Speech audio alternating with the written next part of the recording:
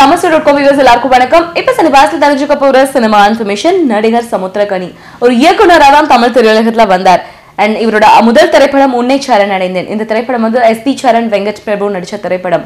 எதிர்பார்த்த அளவுக்கு பெரிய வெற்றி கொடுக்கல. அந்த திரைப்படத்தை தொடர்ந்து விஜயகாந்த் அவர்களை வச்சு நிறைஞ்ச மனசு அப்படின்ற திரைப்படத்தை எடுத்தார். அண்ட் அந்த திரைப்படத்தை தொடர்ந்து நாடோடிகள் திரைப்படம் சசிகுமார் அவர் நடிச்சு எடுத்திருந்தாரு. இந்த திரைப்படம் பெரிய அளவில் பெயர் வாங்கி கொடுத்த திரைப்படமா ஆயிடுச்சு. அண்ட் இதை தொடர்ந்து பாத்தீங்கன்னா சமுத்திரக்கனி ஒரு இயக்குனரா மட்டும் இல்லாம நடிகராகவும் நடிக்க ஆரம்பிச்சார். பல திரைப்படங்களில் குணச்சித்திர வேடங்களை நடிக்க ஆரம்பிச்சார்.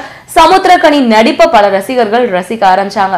அண்ட் இதை தொடர்ந்து பல படங்கள்ல நிறைய வேடங்கள் ஏற்று நடிச்சார். இவரோட நடிப்பு அப்படின்றது சூடு பிடிக்க ஆரம்பிச்ச காரணத்தால இயக்கம் அப்படின்றதுல இருந்து வெளியே வர ஆரம்பிச்சிட்டார் சமுத்திரக்கனி. இப்ப வரைக்கும் தொடர்ந்து படங்களை நடிச்சிட்டு இருக்கார்.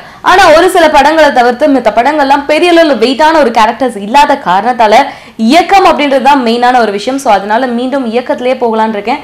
திரைப்படங்களை நடிக்கிறது கொஞ்சம் கம்மி பண்ணலான்னு இருக்கேன் அப்படின்ற மாதிரி முடிவு பண்ணிருக்காரா சமுத்திரக்கமணி அண்ட் அதுலயும் அவர் இப்ப இயக்கிட்டு இருக்க அப்பா இயக்க போற அப்பா திரைப்படம். இந்த அப்பா திரைப்படம் பாத்தீங்கன்னா கிட்டத்தட்ட அதாவது குழந்தைகளுக்கும் பெற்றோர்களுக்கும் இருக்கக்கூடிய ஒரு அழகான விஷயத்தை காட்டக்கூடிய ஒரு திரைப்படம் கருத்துள்ள திரைப்படம் அப்படின்ற மாதிரி தர வச்சிருக்காங்க.